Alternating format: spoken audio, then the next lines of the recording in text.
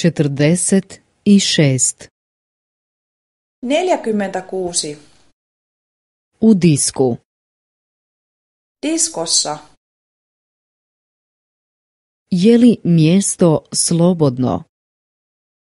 Onko tämä paikka vapaa?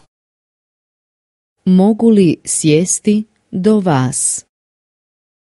Voinko istua teidän seuraanne? Rado. Mielelläni. Kako vam se sviđa glazba? Mitä pidätte musiikista? Malo preglasna, Vähän liian kovaa. ali bend svira sasvim dobro. Mutta bändi soittaa ihan hyvin. Jeste li često ovdje? Oletteko usein täällä? Ne, ovo je prvi put. En. Tämä on ensimmäinen kerta. Ja još nikada nisam bio bila ovdje. En ole ollut täällä ikinä. Plešete li? Tanssitteko?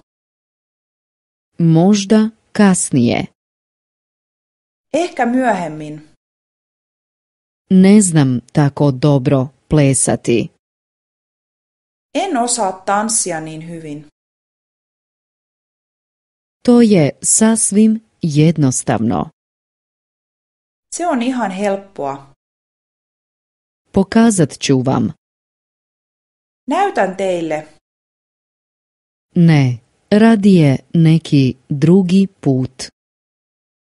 Ei, mieluummin joskus toisten. Čekate li nekoga? Odotatteko jotakuta? Da, mojeg prijatelja. Kyllä, poikaystävääni. Eno ga tamo iza dolazi. Tuolta hän tuleekin.